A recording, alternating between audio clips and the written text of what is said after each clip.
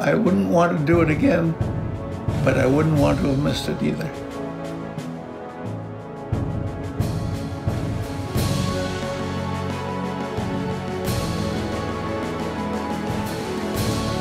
We didn't know whether he was going to drop a bomb or come down and strafe us.